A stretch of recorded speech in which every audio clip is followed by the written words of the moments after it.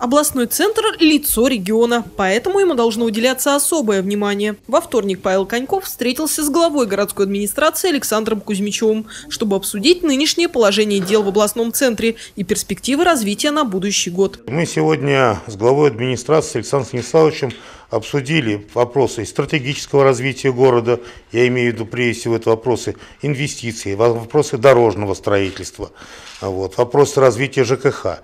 И в том числе и вопросы, которые остро волнуют жителей сегодня. Наиболее остро горожан волнует проблема ОДН. По словам сити-менеджера, регулярные проверки все чаще выявляют факты мошенничества жильцов с приборами учета. Многие ивановцы до сих пор не установили счетчики. Проблему могли бы решить общедомовые узлы учета. Правда, непонятно, как заставить жильцов установить их.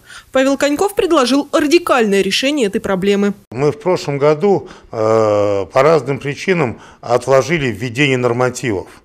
Вот, потому что, к сожалению, любое введение нормативов, изменение платы э, вызывает достаточно острую реакцию жителей.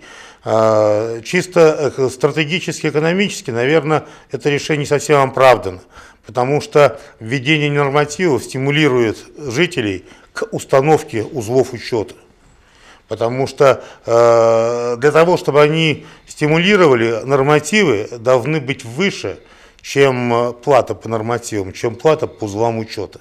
Одна из двух российских проблем – дороги. Ивановская стройка века, восточный обход все еще в планах. Реализация потребует 16 миллиардов рублей.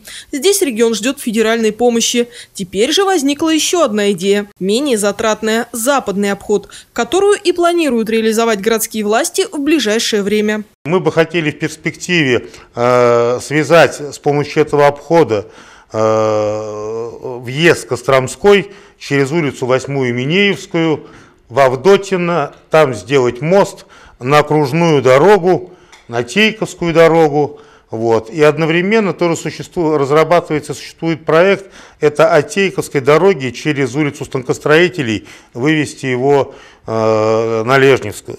Ну и, конечно же, социальный вопрос. В первую очередь проблема очередей детские сады. Сейчас она составляет полторы тысячи человек, но уже в следующем году существенно сократится. У нас появится два новых, э, совершенно новых э, дошкольных образовательных учреждения.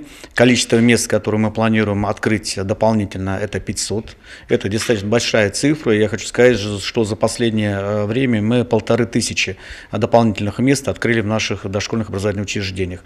Много ли это мало? Это, конечно, много. Почему? Потому что по уровню обеспеченности дошкольным образовательным учреждением сегодня город Иван является лидером среди областных центров э, Российской Федерации. Мы в этом направлении будем системно двигаться при поддержке региональных властей.